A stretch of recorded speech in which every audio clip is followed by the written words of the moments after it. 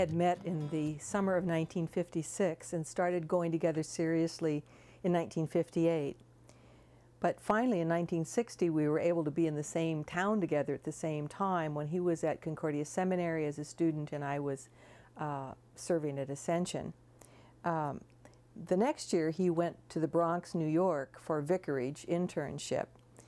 Uh, and we had planned to marry when he came back from vicarage.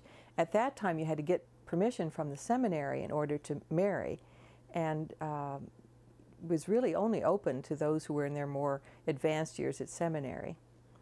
We did marry August 26, 1962, and remained in St. Louis for two more years. He would finish his uh, degree to become a pastor, and then he stayed on one additional year to begin work on his Master of Sacred Theology degree. Um, throughout my time there, I never questioned, in fact, it never occurred to me to question why women couldn't become pastors. Um, I was grateful for the opportunity I had to be in ministry as a deaconess. However, Concordia Seminary at that time uh, did open an MAR program to teachers in Missouri Synod. Um, and because some of those teachers were women, uh, it would become clear that some women would be able to take some graduate courses there.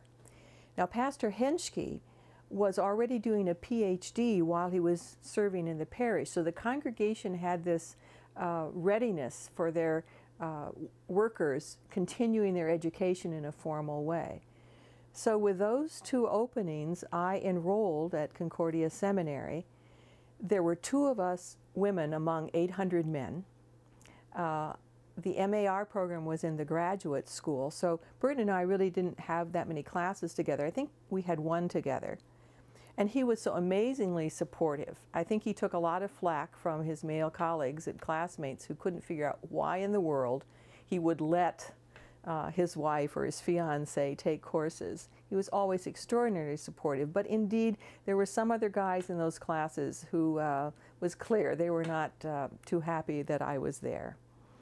Um, I was um, able to take courses and I remember getting A's in my courses and, and, got an A in a preaching class, but I wasn't able to call what I did preaching. I had to call it giving an inspirational address.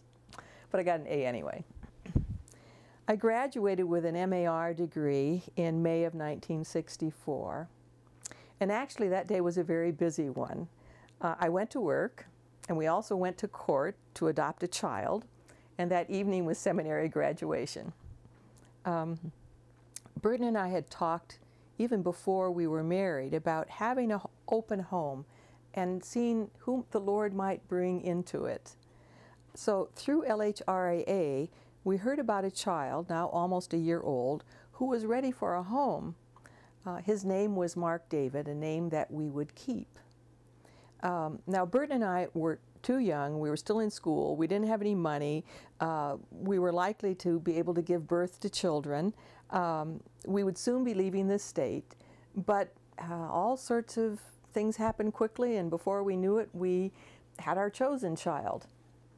Um, because our generation, those born late Depression era or World War II, is somewhat small, and the baby boom generation is very large, at that time, there were uh, many children who were available for adoption and fewer uh, adults to adopt them.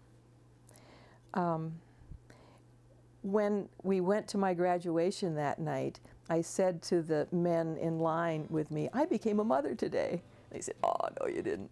But here up in the balcony was Burton with Mark.